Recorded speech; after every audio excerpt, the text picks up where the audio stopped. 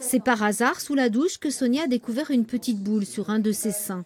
Après consultation et examen, le verdict est tombé. J'étais en forme, je suis, je suis suivie. euh, c'est vrai que j'aime bien, en fait, tous- tous les ans, en fait, je planifie mes, mes rendez-vous médicaux, tout ça. Donc, euh, j'avais vu mon, mon gynécologue en plus au mois de janvier.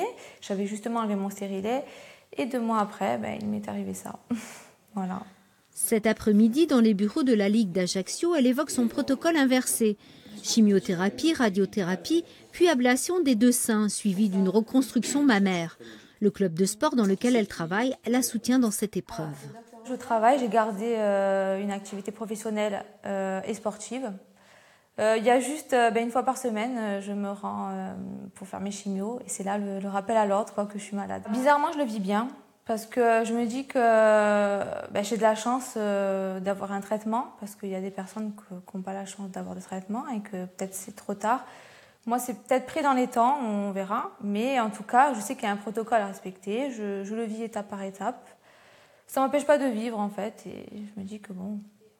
Et elle vit aussi avec les effets secondaires liés au traitement. Mon apparence, c'est sûr qu'elle a dû changer parce que moi je me vois tous les matins dans, dans mon miroir et mais euh, avec ce qu'ils font maintenant, c'est tellement. Est-ce que vous voyez vraiment que, que, j'ai un- que je suis atteinte d'un cancer? Sonia souffre d'un cancer qu'une femme sur huit risque de développer après 50 ans. Les campagnes d'information annuelles d'Octobre Rose ont pour objectif le dépistage, car agir précocement augmente considérablement les chances de guérison. L'importance du dépistage rapide dans le cancer du sein, c'est surtout, c'est surtout d'avoir euh, débusqué des tumeurs qui font moins de 2 cm.